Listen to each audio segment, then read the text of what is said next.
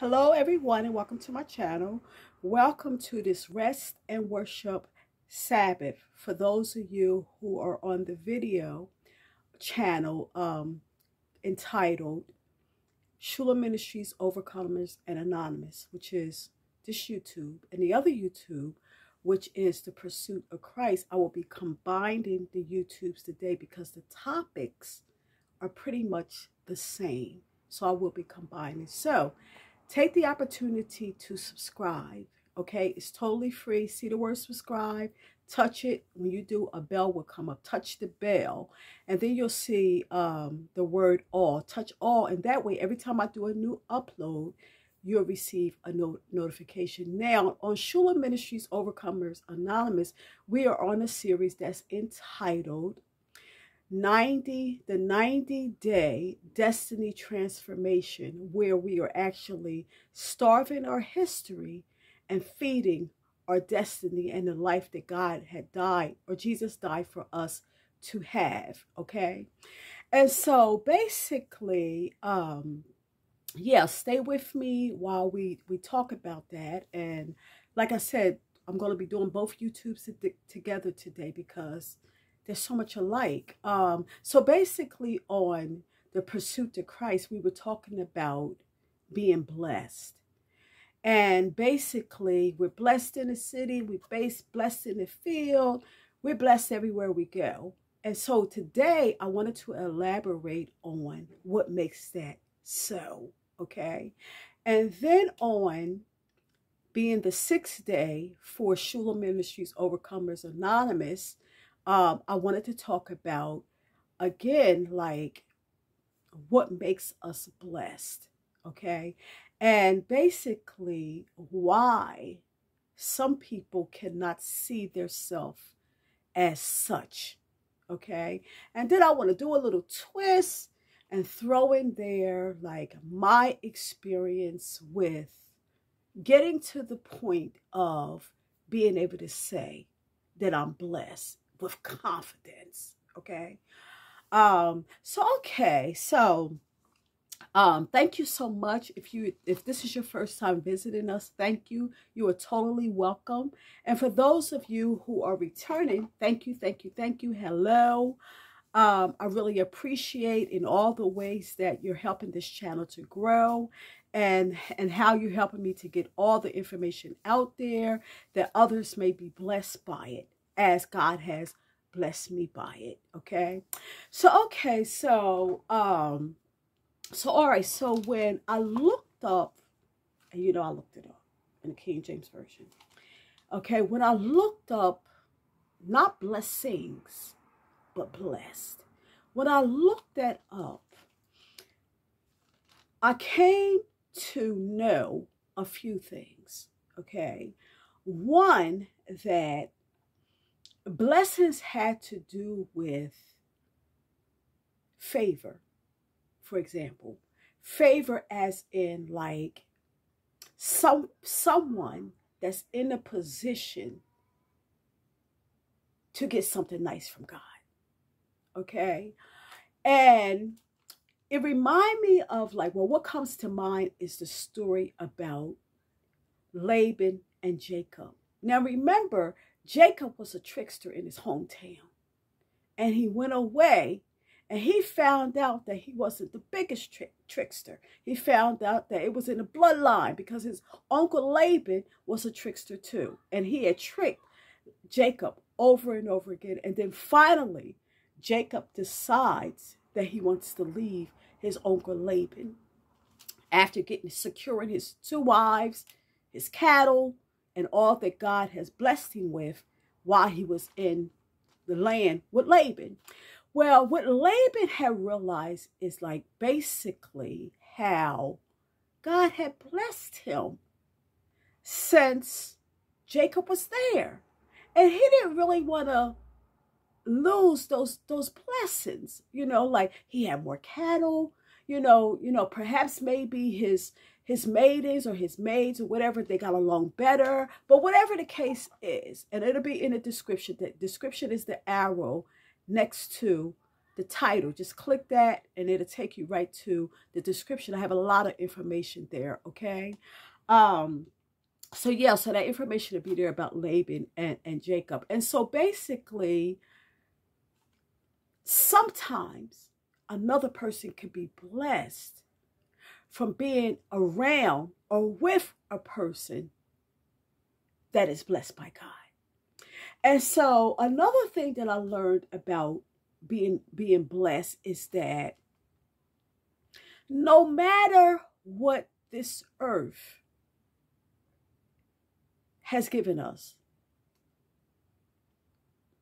or not given us or whether or whatever our earth experience has been when we present ourselves to God and give it all to him we can become blessed and you know, I like to talk about Jabez a lot. Okay. And so if you haven't heard the story about Jabez, you can check that out. Again, it'll be in the description. Um, Jabez, let me see if I wrote it down. Uh, yeah. First Chronicles, the fourth chapter, verses 9 to 10. It talks about Jabez. And God blessed him just in in two verses. Basically, the verse where it gives us an introduction about Jabez, where it says basically his mother labored hard when she was delivering him, okay? And as a result, she named him Jabez because she sorrowed a lot. And some people walked away with believing that Jabez meant sorrowful. And back in the Bible days, they were intentional in what they named their children. And so if you think about somebody having a name sorrowful, it would mean something like, you're sorry. You know what I mean? You're, you're, you're, you're, you're not going to have much. You're not going to do much. You know, if you have children, they're not going to do much in the earth or whatever. And so when Jabez came to grips or to maybe possibly understanding what his name meant, he presented it to God. And then sending it, presented it to God. The Bible records Jabez as being more honorable than all of his brethren. Okay? And so, so basically, what I got from that is it doesn't matter what we've been served on this earth. If we call God in it, if we present ourselves before God and say, God, this is the situation here, in two verses, explain it. Verse number two, God, God basically rewarded um, or honored Jabez's request. Okay. And then there was another part that I had learned about um, being blessed and basically just what that meant because i was trying to get an understanding like bless you you know usually like when you hear bless you think about like material possessions. But for a christian it's more than material possessions. And on this earth yeah i mean we need a comfortable home nice shoes and clothes to wear and a nice car you know whatever but we need more than that in our spirituality and in our connection with God. I forget now who God was talking to in the Bible. But basically, he said to the person, he said that basically that he was blessed because he obeyed. And so basically, we become blessed when we obey God. Now, what else goes with that? That blessing. Now, you know already that in order for us to get all, Jesus came that we may have life and may, we might have it more abundantly. However, in order for us to tap into those blessings, we must be obedient to his word. And I encourage the King James Version because it's what he encouraged me. You know, uh, when I ask God, is so many Bibles, what can I use to, you know, so I can use for my soul salvation and for my, you know, my spiritual development. And the Lord said, King James Version. Now, I didn't know enough about the one that had the missing Bible, mission books to it. I didn't know nothing about that. So I cleave to King James, okay? And then when when basically he was saying the rich young ruler came to Jesus and he said, What must I do that I can inherit eternal life? Jesus said, You know, you know the commandments. And he started naming the commandments. And the rich young ruler was like, I did that from my youth. And he said, Okay, go and sell all that you have, give to the poor, and you shall have treasures in heaven. Okay. And so as we look at the fact that Jesus started naming the Ten Commandments, we have to look at or zero in on the fourth commandment, which is the only one that God admonishes us to remember. Okay. However, it's the only one that most of the world has forgotten. And Jesus says in Exodus, the 20th chapter, verses 8 to 11, that we should remember the Sabbath day to keep it holy. Six days shall I labor and do all thy work, but the seventh day is the Sabbath of the Lord thy God. In it Thou shalt not do any work, thou, nor thy son, nor thy daughter, nor thy manservant, nor thy maidservant, nor thy cattle, nor thy stranger that is within thy gates. For in six days the Lord made heaven and earth, the sea, and all that in them is, and rested the seventh day. Wherefore the Lord blessed the Sabbath day and hallowed. Hallowed mean he set it aside for holy purpose. And there's a part in the Bible, and I believe it's in Isaiah, where it talks about, you know, when we go to heaven, from one new moon to another, from one Sabbath to another. It's a day of worship, y'all. We will come together and, um, you know, basically to worship the Lord. Okay. So the Sabbath, not just a day of rest where we don't do other, like the things that we do in a work week and shop and go to amusement parks and all that kind of stuff. It's also a day of worship when we go to church. The Bible says it was Jesus's custom on a Sabbath to go to the synagogue. Synagogue to Jews, church to us, okay? And so basically, um, you know, when I think about that, he talks about like obeying. Obey what? What is it that we are expected to obey? Okay. And so um the Bible says that I think this is John I'm not even going to try to say it. It'll be in the description. If the Bible says, if you love me, this is Christ talking. If you love me, keep my commandments. You know, it says that here is the patience of the saint. Here are they that had that keeps my commandment and have the testimony of Jesus.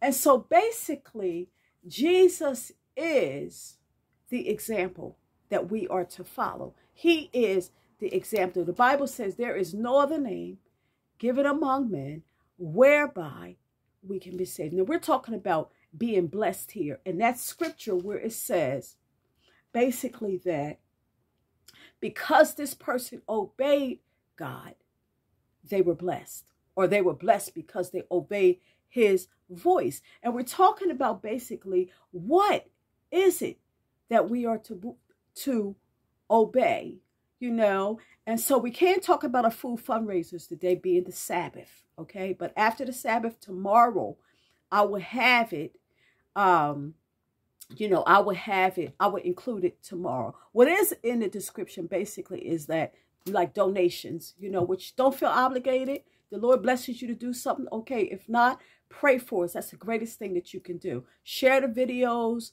you know, subscribe, like, comment. I like to hear from you. Drop drop a topic if you like. Okay. Um yeah, and likes really help the YouTube, y'all. It helps. The more you like, the more that YouTube shows the videos. So like, like, like, subscribe, encourage subscription, and don't, yeah, encourage subscription. Don't forget to su subscribe yourself. Okay, so the Bible says that keeping the commandments is the whole duty of man.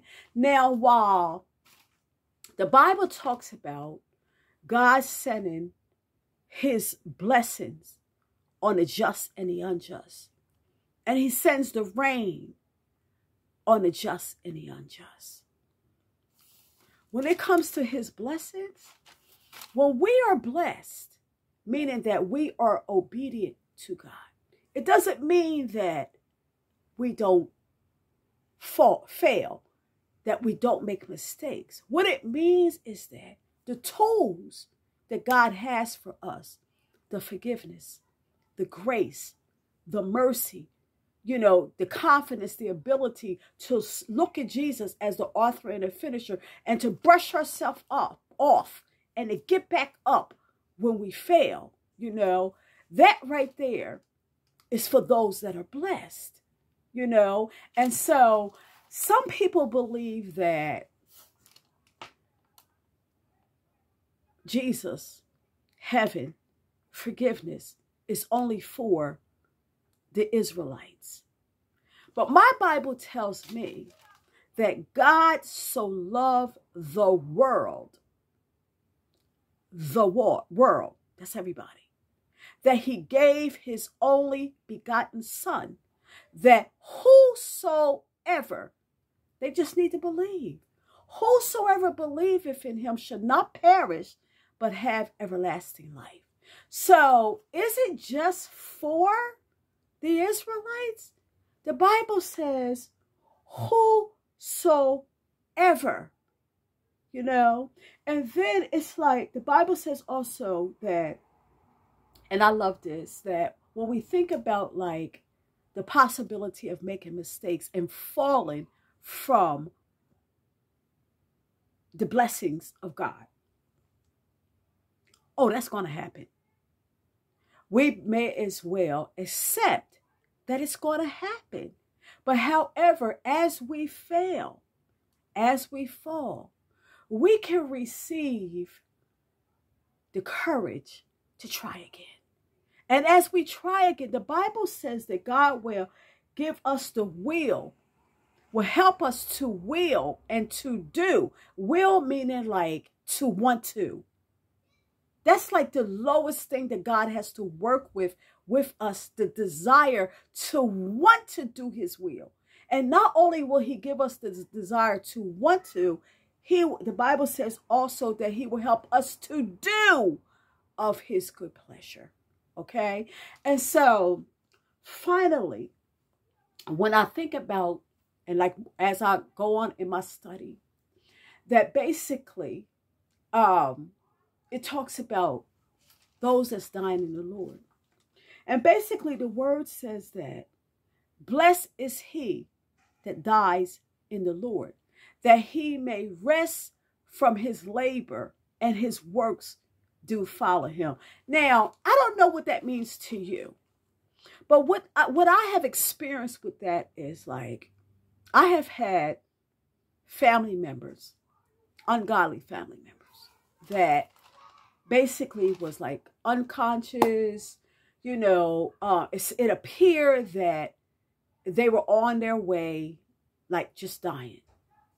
Now, because they were not God fearing people, when God brought them through and they came to, they still wanted a cigarette. They still wanted to drink. They still wanted to get high and all of that. But the Bible says, blessed is they that die in the Lord, that their work will follow. In other words, when Christ shall come, and he cracks that sky and he sends his, you know, he sounds the trumpet and he sends his angels to the four corners of the, the earth and the dead should be awakened and those that are alive that's on the earth you know gather up together you know to meet the lord in the in the air. Those that died in the lord when they die in the lord it's meaning that they were a believer. When they wake back up they're gonna still be believers it ain't no conversion in the grave none at all so i mean we can't think that we can live haphazardly do anything that we want to do, and then we die and we safe. Nuh-uh. The Bible says that when Christ shall come, every eye shall see him. Those that are dead will be awakened and those that's living on this earth, because everybody's not going to die. The Bible says that some will not taste death until Christ is seen coming in the clouds, basically, when Christ get here. Then, you know, those that's ungodly, they're, they're going to die. That's living on the earth, okay? But however, God has given us an opportunity right now. If we have breath in our body, and we do, God has given us an opportunity to be numbered among the blessed. You know, and so when I think about, when I think about that, okay, um, y'all check out my other YouTube, which is The Pursuit to Christ, okay? And also the playlist on both uh, on, on both YouTubes. This one right here, The Pursuit to Christ, and the other one as well. Um, Shula Ministries Overcomers and Anonymous.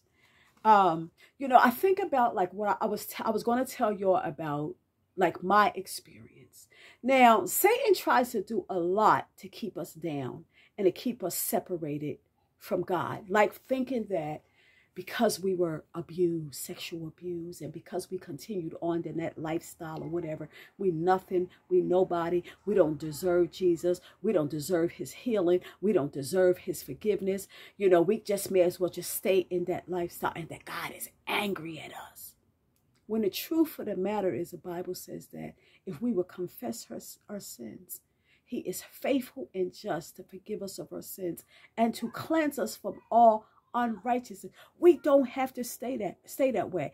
I'm telling you, anybody that you know that is great with great riches and all that, if you sit down and talk to them, some of them even moving store like Viola Davis, um, Steve Harvey, if you add uh, Joyce Myers, if you sit down and talk to them, they would tell you about their Jabez experience where it looked like life was very dim for them. Okay. And so basically, when they called out to God, God was right there to help them out.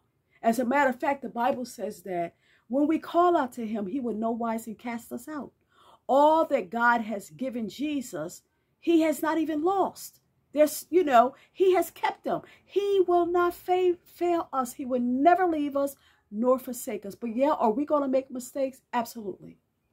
Yes, we need to call God in to help us. And so basically, when I think about my experience, and, I, and I've shared with, with y'all how, you know, I mean, I was raped, I was beaten, and, you know, I was uh, basically uh, deserted in, in, in many cases, rejected, and, you know, the whole earthly experience. I mean, I got that too, okay?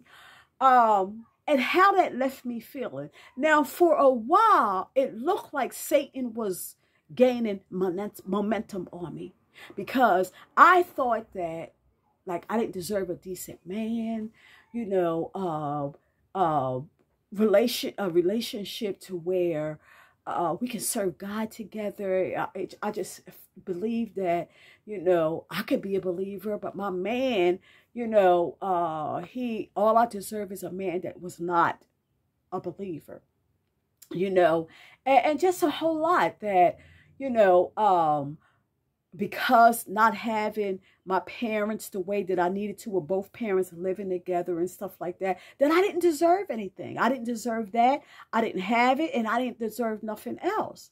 And so along came more and greater information. And that more and greater information was basically this. And if I had a cross, and I don't, I don't even have a cross. Oh, yes, I do. Okay, and so basically, when I looked at what the cross did for me, and basically the Bible saying that, you know, Christ died for the ungodly. Christ didn't come here and die for those that were doing well and those that, you know, uh, had their life, you know, mapped out for them and they, you know, were in the way pretty good. He, no, no, no, no, no, no, no. The Bible says he died for the ungodly. And even though we cannot stay in that condition in order to go to heaven, to be accepted by Christ, absolutely. The Bible says that Christ died while we were yet in sin. So basically, for me, when I look at the cross and Christ did for that, Christ gets the final say in my life. When I look at the fact that he created me as a stamp of his approval and his love for me, he created me in his image. Okay. And also at the end of creation, for, for five days, when God created what he created, he said it was good. But when he created mankind, okay, he said it was very good. All right. And so basically, no matter what has happened to me, or what happens even today when Satan tries to get in my room and cause me to be depressed and, and be anxious and upset or whatever. I'm like, Satan, stop. Just stop. Just stop. I'm going to do this or I'm going to do that. Now, whereas before, when anxiety and depression would last for days and days and days with me, today I'm like, it may be a couple minutes. And that is the truth. A couple minutes because I know who it is. I know who I am. I know whose I am. And I know who is the head of my life. So no matter what Satan tries to interject in my mind and in my heart, okay, I don't follow it. I don't speak it out of my mouth, and nor do I follow it my behavior because it's a lie. It's a lie. And so basically, I run everything past God. I run everything past Jesus, okay? And so Jesus is not mad at you. And Jesus is not mad at me, okay? And we have an opportunity, every last one of us, to be blessed.